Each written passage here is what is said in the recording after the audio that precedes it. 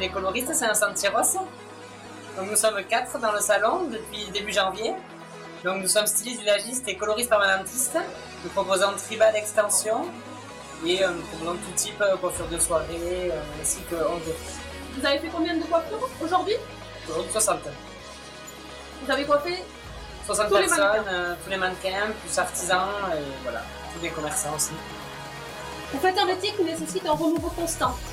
Quelles sont vos sources d'inspiration Ben, un peu de tout. La mode, euh, surtout ce qui se fait au jour d'aujourd'hui. euh, mais c'est surtout par rapport à la mode en fait.